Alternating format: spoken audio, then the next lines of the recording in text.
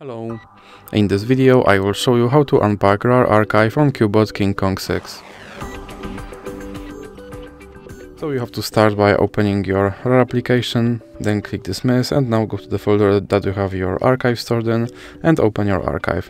Now click on the button with an arrow icon and here you can change some settings or you can just use defaults and click OK. And now your archive is unpacked. So that's it for this video, if you liked it please remember to leave like and subscribe. Música